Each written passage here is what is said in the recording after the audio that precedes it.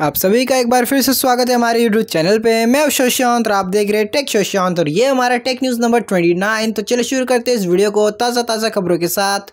तो हमारी पहली टेक न्यूज़ है आइको की तरफ़ से। तो यहाँ पे आइको नियो नाइन प्रो के प्राइस लीक हो गए हैं। और बात करें प्राइस की तो यहाँ पे इस फ़ोन की प्राइस हमें थर्टी एट थाउज़ेंड रुपीज़ देखने को मिली है।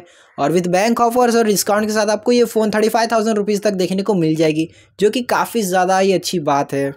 हमारी दूसरी टेक न्यूज़ है रेडमी की तरफ़ से। तो यहाँ पे रेडमी लॉन्च करने जा रहा है। उनका एक नया स्मार्टफ़ोन रेडमी ए थ्री और ये स्मार्टफ़ोन दोस्तों फोर्टीन फेब 2024 को लॉन्च होते दिख जाएगा। बात करें इसकी स्पेसिफिकेशंस की तो यहाँ पे आपको 6.7 पॉइंट इंचेस का 90 हर्ट्ज आईपीएस एलसीडी डिस्प्ले देखने को मिलेगा।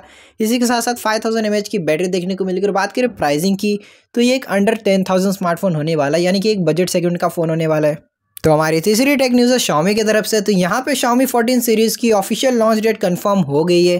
तो ये फ़ोन आपको 25 फरवरी 2024 को लॉन्च होते दिख जाएगा एम बर्सोलोना में। तो हमारी चौथी टेक न्यूज़ है नथिंग की तरफ़ से। तो यहाँ पे नथिंग फ़ोन टू ए के कुछ लीक रेंडर सामने आए। तो देख सकते हैं, यहाँ पे डिज़ाइन कुछ इस तरीके का देखने को मिल रहा है। और यहाँ पे कोई ग्लिफ इंटरफेस हमें देखने को नहीं मिल रहा है। तो ग्लिफ इंटरफेस हो भी सकता है और नहीं भी हो सकता है। और यहाँ पे फ्लिपकार्ट पे भी टीज़र आने शुरू हो गए। और ये फ़ोन दोस्तों हमें इसी महीने लॉन्च होते दिख सकता है।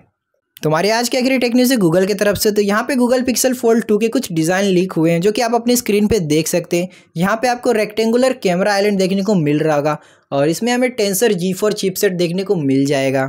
तो आज की वीडियो से इतना ही। आप आपको वीडियो पसंद आई हो, अगर वीडियो पसंद आए तो वीडियो को लाइक ज़रूर करिएगा और अगर आप नए हमारे चैनल पर तो इस चैनल को सब्सक्राइब करना मत भूलिएगा। इसी के साथ साथ नोटिफिकेशन बेल को ऑन कर दीजिए, ताकि आपको मिलते रहे ऐसे अमेजिंग वीडियोज़ के नोटिफिकेशन और मुझे नीचे कमेंट बताइए, आपको वीडियो कैसे लगी?